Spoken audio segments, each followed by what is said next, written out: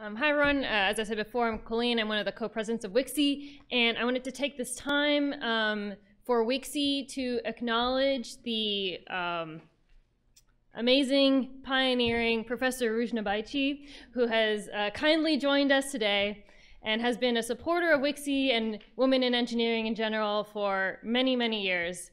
Uh, and so uh, to acknowledge this and as a thank you for her work, uh, we would like to give her a small gift.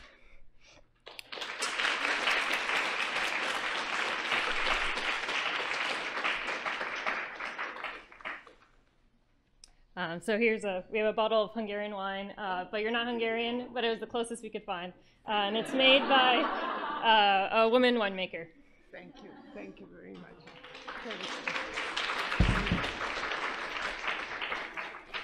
If I can take three minutes, no more. Um, it's really such a pleasure to see so many women uh, here and um, the result of the efforts of the UC Berkeley, um, we, we are filling the pipeline. And I can tell you, I am on the recruiting committee for faculty, and we are seeing such a great woman. I always adhere to the, to the premise that we shouldn't hire women just because they are women. It doesn't do any good anybody. But we have such high quality applicants and I just came back from Caltech and they tell me the same thing. So I think we are, and I remember conversation with Barbara about 2000 or so when I came here and we were talking about the pipeline.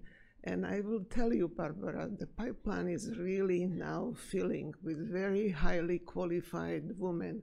And that is perhaps the greatest pleasure.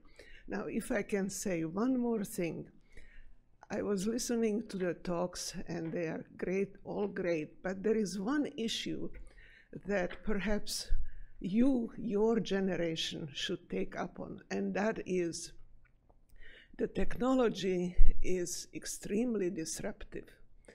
And I beg you to think about those of you who are have some influence in Uber or any other of these companies, that to think about how technology, the results and the profits of the technology should be shared. Because think about if really the, the cars without drivers will succeed, which I am sure they will, imagine all that the people who today make living out of driving will be away. So should all that profit from those cars should go just to the company? Or should we start to think about how to share the profits from our developed technology? Thank you.